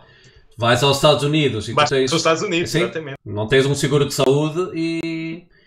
E, e pagas uma conta de 8 mil euros simplesmente ir às e, e não, não, Uma gripe, não é? Não, ganha, não ganhas para, para pagar o hospital. É, Exatamente. E estamos a finalizar com duas imagens. Essa é do, do Oli. Uh, foi aqueles, aquelas coisas que eu estava a fazer um trabalho também sobre comboios na Índia. E eu, olha, já que é a altura do, do Oli Festival, vou lá. olha, vou, vou lá. Uh, e tinha que mesmo que ir. Mas que é, que é doentio, é, dá grandes fotos, uhum. sem dúvida, uh, sem dúvida grande, dá grandes fotos, mas é, é, é, não é fácil, não é, não é fácil de se fotografar, não é fácil de assustar e não é fácil de sobreviver lá. Uh, e não estava à espera, foi um choque para mim, foi um choque para mim, mas realmente da, ah, grandes fotos. Temos aqui algumas fotos e o impacto aqui, claramente, esta foto tem que ser a cores, é que tem, tem, tem. É, não, não tem explicação. E ela teria impacto, o impacto a preto e branco, porque realmente. Uh, e prim primeiro, aquele mês eu estava. estava aquele, aqueles dois meses que eu estive na Índia, eu estava a cores. Estava a pensar a cores, nem sequer estava a pensar a preto e branco, e estava com o meu chip a cores, e era a cores e a cores. Uh, ou seja, uh, eu fiz vários todos a cores, que eu estava a cores e estava a cores. Uh, e para além de que esse trabalho específico é daqueles trabalhos que fiz por lazer, ou uhum. seja, se fizer dinheiro fácil, Valeu não fizer, pena, não faço. Já que, já que estava lá e era uma coisa que daqui a um ano ou dois vou vender essas fotos e, e vai compensar o facto de estive lá quatro dias.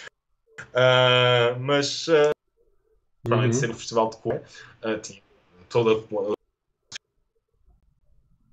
Aí é um, um trabalho disso sobre preto e branco, mas eu tinha que ir mesmo com o chip a preto e branco. Mas era engraçado o festival, do Festival das Cores. que isso, isso nos leva àquela questão que eu, que eu tenho falado muito com os fotógrafos documentais, que é hoje em dia com a globalização, com os meios, com já é, muitos fotógrafos, há coisas que nós é, muitas vezes vemos é, o trabalho de vários fotojornalistas ou fotógrafos documentais sobre o mesmo tema.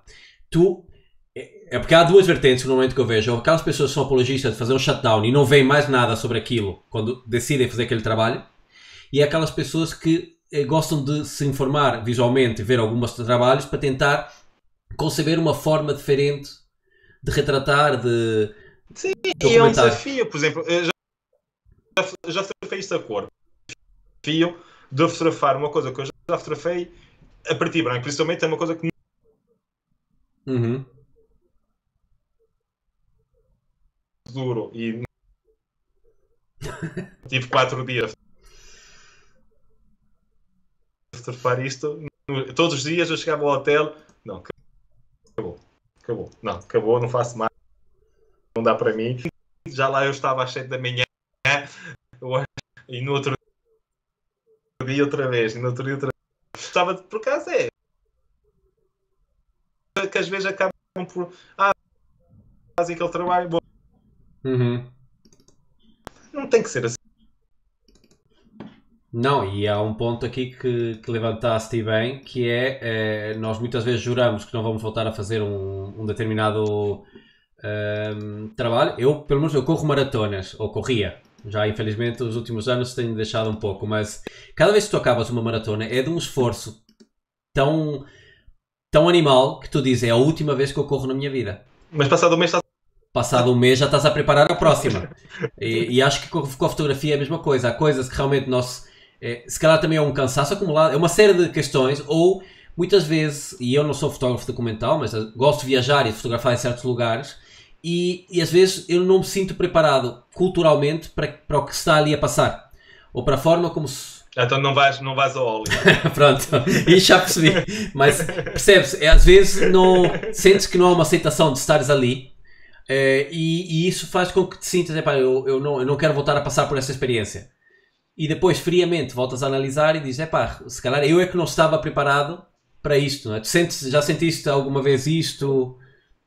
Já, ficas, ficas mais maduro, ficas também a pensar de outra maneira diferente. Como é óbvio, a opinião que há dois anos atrás agora é completamente diferente. Uhum. A fotografia, pelo menos falo por mim, também tem muito a ver com a tua forma de pensar e, e, a tua forma de ficares cada vez mais maduro a nível pessoal. Isso tem influência no teu trabalho, nos temas, no, na tua maneira de fotografar.